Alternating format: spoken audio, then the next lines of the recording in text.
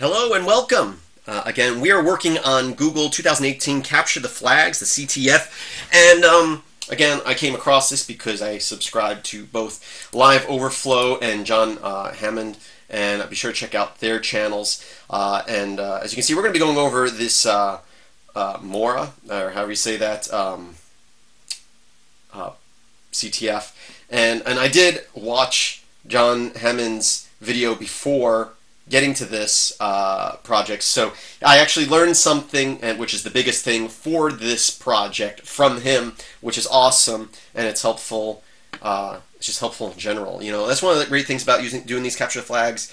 It's not just doing them, but what you learn from doing them. So although I already knew what he did, I uh, I'm going to do a video on it. Be sure to check out his video, and uh, I also wrote a script that uh, fully automates it um, because I thought that was a great idea. That's what John here was doing. He's writing scripts to automate stuff. And uh, I go about things a little different with my scripts. Um, but you can go to my GitHub, or sorry, switch to GitLab, gitlab.com forward slash metalx1000 forward slash capital CTF. Download that project. All the scripts are there.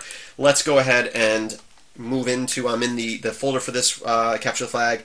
Um, and again, all these, there's a zip file you download, you unzip it, there's something in it. Well, not all of them but anyone that has an attachment, you download the zip file. And actually, this one doesn't have a zip file, now that I'm saying that.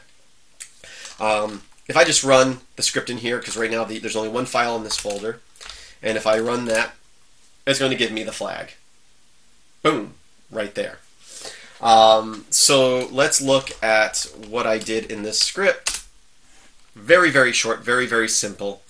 Um, big thing here is we're using Netcat, although you could probably use Telnet as well. And we're connecting to this server at this port. That, that's what they tell us to do right here, you know?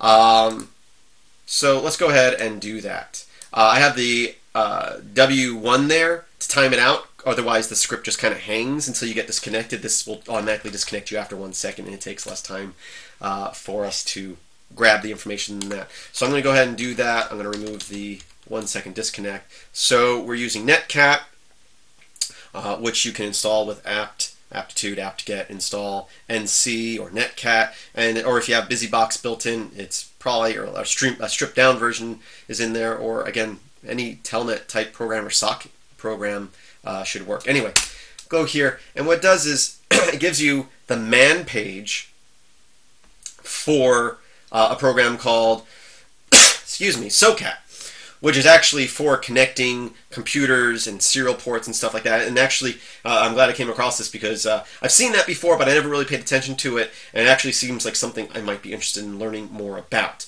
Uh, so, what do you do from here? I mean, um, you can hit H, you know, and it brings up help here uh, for the man pages. Um, and I can hit Q to get out of that. Uh, and that's about it. If I if I try to exit out of this, I just get disconnected, so I can't get to a shell on this machine that way. Again, if you uh, hit H for help, I actually haven't looked through this, but I'm just you know searching patterns. I'm betting what we need to do is actually probably in the help file here. I don't know.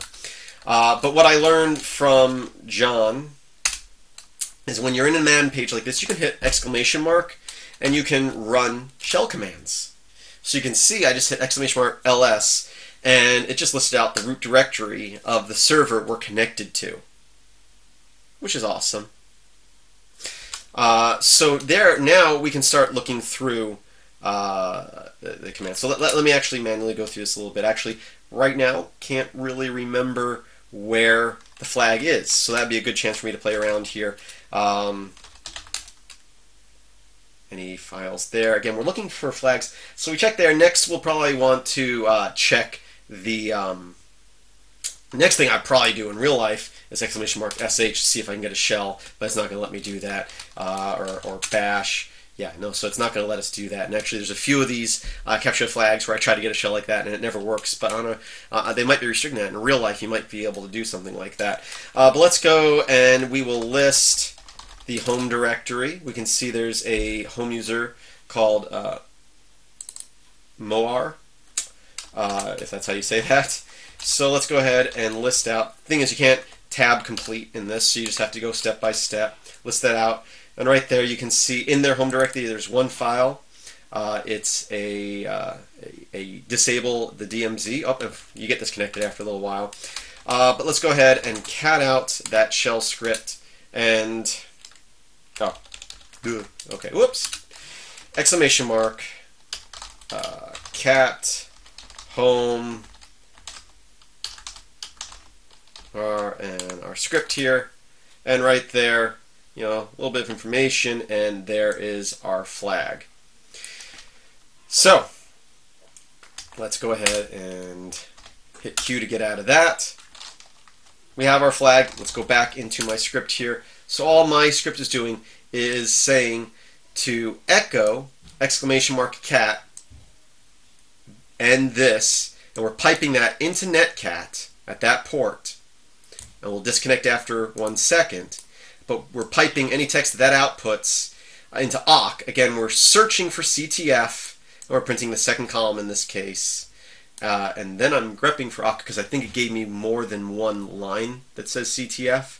So I was grepping for it a second time after I split the column off. Um, so there you go. Again, I can um, run that and it gives me that code pretty straightforward. The, the lag there, that one second, is it actually doesn't output the text until we're disconnected from the server. So that's why I have that wait one second, then disconnect. Uh, I could probably make that a shorter number if Netcat takes less than one second, but why at this point, you know? Uh, so again, filmsbykris.com, that's Kris the K, there's a link in the description. There you can search through all my videos. You can learn more about me see where my software is. Uh, you can also support me. Patreon.com forward slash metalx1000, also in the description of this video. Or if you can't do Patreon, uh, I have PayPal link here. You can do one-time payments, recurring payments. Contact me through our, uh, IRC, or if you're a Patreon, you can contact me through Patreon. Um, and again, shoutouts to Live Overflow, John Hammond, because uh, again, I, I don't know if I would have figured this one out on my own because uh, I didn't know about the exclamation mark in the man program there, and that was the key to this one really. After that, just snooping around, uh, and that's it.